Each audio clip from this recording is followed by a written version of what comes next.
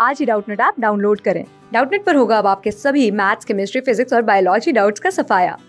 बस अपने क्वेश्चन की फ़ोटो खींचो, उसे क्रॉप करो और तुरंत वीडियो सोल्यूशन पाओ। Download now. पृथ्वी के स्थल मंडल की बड़े पैमाने पर गतियों का वर्णन करने के लिए प्लेट विवर्तनिकी एक वैज्ञानिक सिद्धांत है। तो प्लेट विवर्तनिकी के संबंध में निम्नलिखित कथनों में से कौन सा एक सही नहीं है, ये हमें बताना है।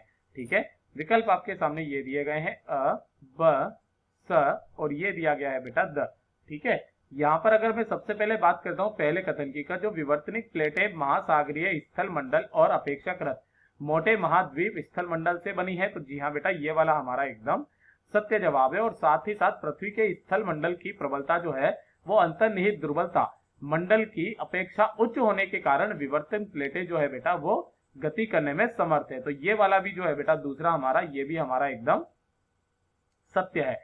तीसरे नंबर पर चलते हैं कि पृथ्वी का स्थल मंडल विवर्तनिक प्लेटों में खंडित है। तो जी हाँ बेटा, ये वाला भी हमारा एकदम सत्य है। है ना? बाकी के हमारे सारे के सारे सत्य ही निकलता चला जा रहा है, क्योंकि पृथ्वी के स्थल मंडल की प्रबलता अंतर्निहित मंडल की अपेक्षा उच्च होने के कारण विवर्तनिक प्लेटों की गति समर्थ होती है। है ना? गति करने में समर्थ होती है।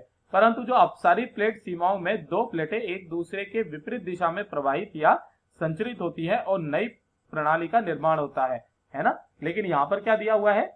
अपसारी प्लेट सीमाओं के अनुदिश है ना? और ये सबडक्शन प्लेटों को जो है आवरण के अंदर ले जाता है तो जी नहीं बेटा, ये वाला हमारा असत्य है।